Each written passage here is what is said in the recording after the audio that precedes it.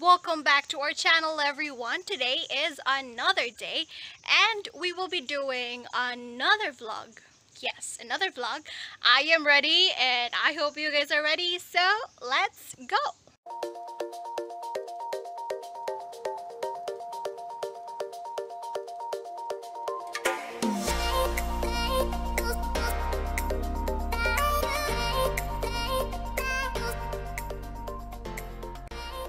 Today, we will talk about unemployment. That is one of the areas of labor problem.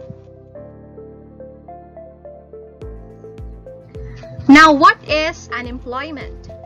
Unemployment occurs when a person who is actively searching for employment is unable to find work. Unemployment is often used as a measure of the health of the economy. Now let's have the difference between unemployment and underemployment.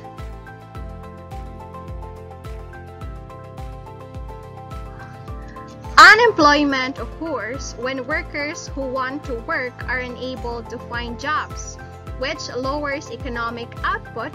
However, they still require subsistence because they need to eat and provide for their basic needs. On the other hand, underemployment is a measure of employment and labor utilization in the economy that looks at how well the labor force is being utilized in terms of skills, experience, and availability to work. There are various types of unemployment.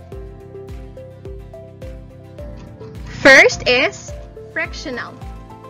This occurs as a result of people voluntarily changing jobs within an economy. Second, cyclical.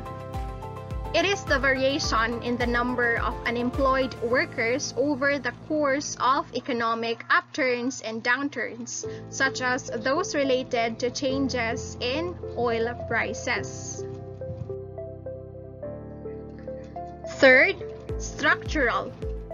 Comes about through technological change in the structure of the economy in which labor markets operate. Fourth, classical. Occurs when real wages for jobs are set above the market clearing level. It causes the number of job seekers to be higher than the number of vacancies.